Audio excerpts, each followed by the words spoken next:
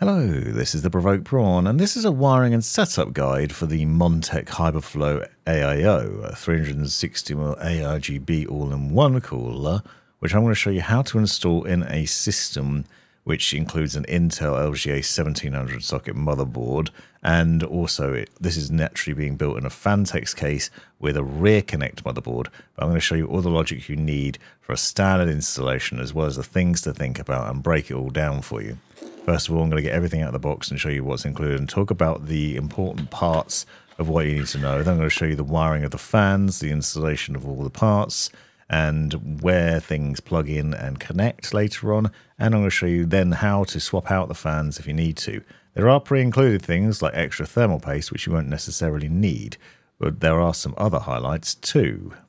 You'll see this has a number of nice things included, as well as little cable ties for the tubes. So you've got these plastic clips that go over the tubes to neaten the tubes up. There's also a really neat tool for installing the standoffs, which is simple and a very nice addition I've not seen in previous AIO installs.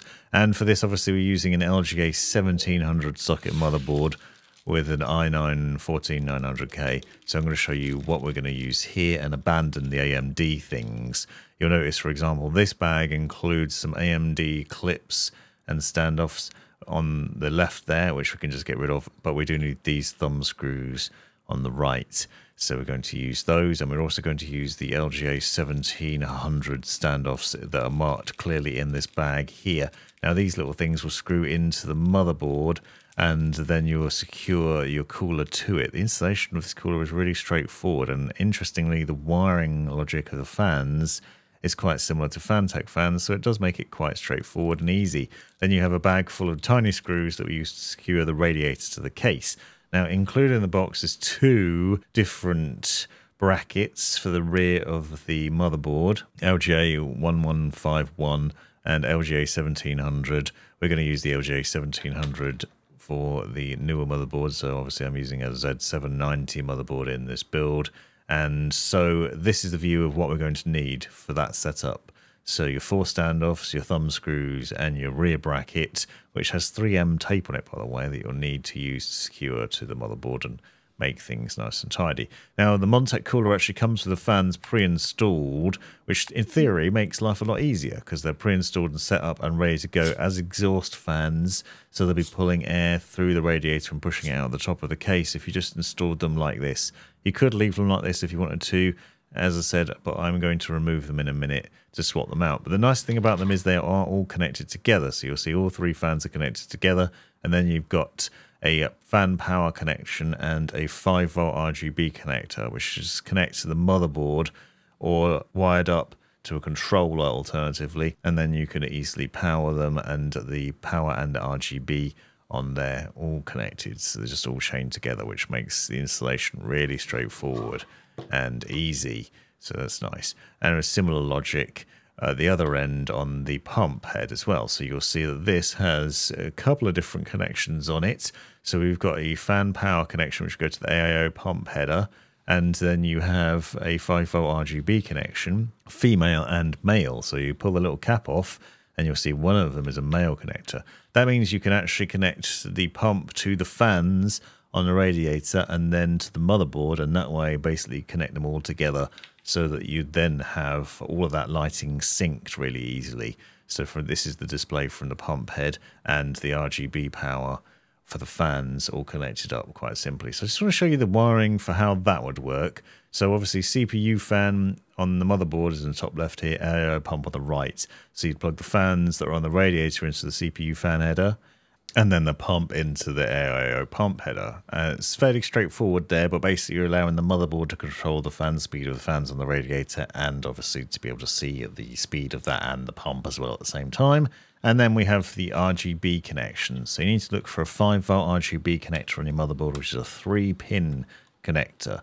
On most modern motherboards, you have multiples of these to allow you to plug your cables in. You can see from the bottom of the motherboard here, for example, there are two available, but I also have one at the top.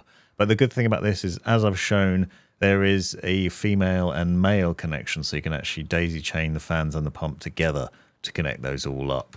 So that does make life a little bit easier. And we've got similar logic as I'll show you with the Phanteks fans as well. So don't worry too much if you haven't got loads of RGB connections available. Alternatively, you can get controllers which will allow you to plug in 5 volt connections to them and then connect up to your motherboard. I've done a separate guide on RGB fans that I'll link to in the description, which might be useful if you have that problem. So with the cables here, obviously we have that male connector from the pump head you can see plugs in to the female one and then basically you've just got all of those fans and the pump linked together for the RGB connector that then plugs into the motherboard. You then control the RGB on those things with your motherboard software or alternatively with something like Signal RGB which is a really neat tool that you can use to control and match up your fan RGB really easily. And then you've got that set up. So now we're going to go into the motherboard setup and installation. For this I'm using the Rear Connect TUF Gaming BTF Wi-Fi motherboard here. So we're going to prep that and make sure it's ready for the cooler. For the CPU installation, we lift the little lever and then remove the latch, and then we're going to carefully seat the CPU into the socket. Note there's a couple of notches at the bottom which you can line up and then gently seat it in there, taking care not to drop it or squash it, and then put that latch back over and the lever back down, and that's now secured. Now for the back plate, we need to remove the stickers on the rear of there. We're going to install this on the back of the motherboard. I find this easier to do now than it is later on. Technically, you can access the back of the motherboard for this in this case if you remove the SSD tray, but it's easier to do it now. So you just remove the 3M stickers from the rear of this back plate and then it will stick to the back of the motherboard and you'll be then able to put the standoffs into it on the other side. So obviously this is the LGA 1700 socket one I showed you earlier on. This is for your cooler. You seat that over the rear of the motherboard and push it down and obviously make sure the stickers are sticking that end nicely and that will then secure that down. And then we use these four standoff screws with the small screw end going into the motherboard into those standoffs that we seated through from the back plate. Skewer that in, screw those four standoffs in there. And this is where the little tool comes into play in a second. So first of all, just secure them by hand. And then the little tool that I showed you earlier on, which is that black ridge tube, essentially sits over the top of these and then can be used to secure and tighten them up further, making sure they're nice and tight so that the cooler is seated well and doesn't come loose and has good contact with the CPU because you need to make sure that those two things are connected well together. Now for this, I'm actually swapping out the standard fans on this Montech cooler for Phanteks fans, but only so they match the fans in the case. This isn't necessary to do, but I thought it would be good to show how to do it in case you want to do something similar in your build. These fans are actually very straightforward to install, so if you want to swap out an alternative, you can use them as long as they have a 5 volt connection and a chassis fan connection. It should be fairly straightforward if you follow this guide. Like the Montech fans, obviously we've daisy chained those Phanteks fans together, but we can use the same logic that we did for the Montech fans when connecting them up to the motherboard. So just remember that because we've got two connectors, a fan power and 5 volt RGB connection, you just connect the fan power connector to the CPU fan header on the motherboard, and the 5 volt connector can obviously connect to the male RGB connection on the Montech pump. Then the RGB lighting will be synced on those. So swapping the fans out, need to make sure the blades face the same way as the Montech ones do, and also think about where the fan cabling is going to go. So make sure the cables are on the same place as well, because you want to make sure you put those cables towards the rear. Obviously, with these Phanteks fans, the cabling isn't as neat as it was in the Montech fans, which had this single cables running across the fans were nice and flat. So it is going to require a bit more work in order to make it neater, which is something to bear in mind. But just make sure the orientation of the fans is the same. So you want the blades facing down into the case. And that'll make sure that the air is exhausting through the radiator here and that the cables face off towards the rear. And then for the radiator installation, basically we're going to try and put this on the top you'll notice that it's a bit awkward to get in. So what I found is if I push the uh, radiator in so that the top left corner is above the pre-installed fan, angle it in there, and then it's much easier to get in. You can see it's a bit of a faff to get in otherwise. So you basically have to put it in at an angle and then just slowly and carefully push it up. It will go in there though, you don't have to force it. But it is worth sort of testing this beforehand. Now the other thing is obviously because we put those Phanteks fans on there, there's a lot of power cables that we're going to have to deal with. So first of all, I'd recommend before installing the radiator that you run those cables through to the rear. You can see there are a couple of holes at the top above the motherboard where you can run the cables through, but we do have a lot of cables to basically get through those holes. First of all, don't forget that we need to plug the CPU fan cable in. So on the, this motherboard is actually at the top middle. Basically, we're plugging those three fans on the radiator into the CPU fan header on the motherboard to make sure they're all powered by that and can be controlled by it. That way, when your CPU starts to get a bit warm, the motherboard will send the signal to speed those fans up, which will then cool it down a bit more. But the other cables, basically the extension of all those additional cables and the 5 volt connection will need to be run to the rear.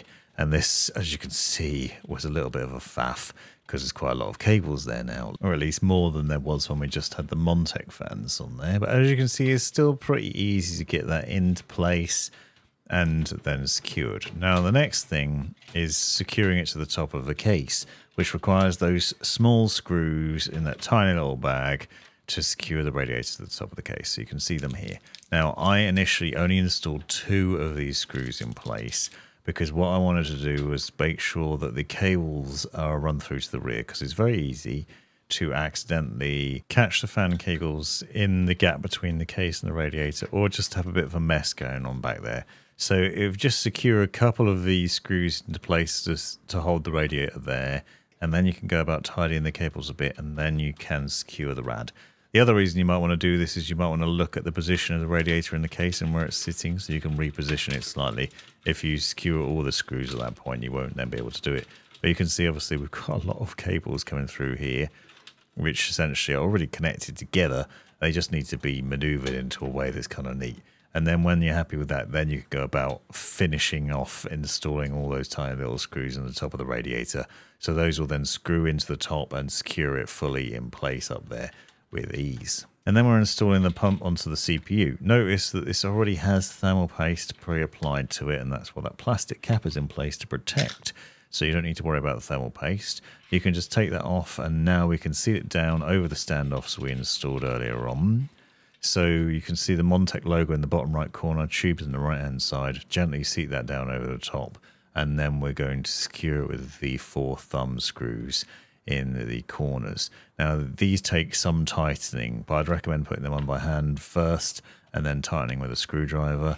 And you're doing that corner to corner, so I'd recommend going diagonally, bottom left to top right, and secure that way. And that way you'll have even pressure across it, and then just repeat the process bottom right, top left and use the screwdriver until they won't turn anymore. Don't force it, but just make sure they're tight so there's good contact between the pump block and the CPU. And then obviously we've got those other cables. So uh, the fan cable goes to the AIO pump header, and then you have the female and male RGB connections from the pump, which we can daisy chain onto the fans, as I said earlier on, and make sure at least one of the connections, either from the fan or from the pump, is connected up to the motherboard's 5 volt RGB connection, and then both lots will get that RGB. So here you can see me using the female and male connectors here just to make sure those are all connected up nicely and we have the power that we'll need for that later on. And then that's that sorted out, but we do have this mess of cables to deal with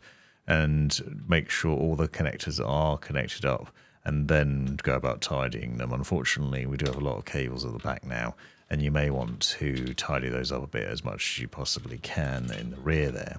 But then I'm just going to power it on and make sure everything's working. We haven't got the GPU in yet, but as you can see when we power it on, all the fans are spinning, all the RGBs lighting up and everything's working as expected. So that's good, just test boot that. Hopefully that's given you some useful insights into how to set up and install this all-in-one cooler with the various options available, including putting different fans on it.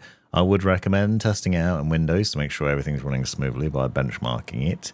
But you should find that it runs very nicely because it's all controlled by the motherboard, so you don't need to worry about downloading any extra software specifically for the motherboard. Just make sure you get some RGB software to control the lighting. This has been the Provoked Prawn. Thanks for watching. You've made it right to the end of the video, you brilliant legend you. If you've enjoyed it, click that subscribe button, give me a thumbs up, and drop me a comment down below if you've got any questions. If you really enjoyed it, consider joining the channel and see the benefits of doing so. Check out these other videos, you might well find them interesting or useful, and most importantly, have a great life.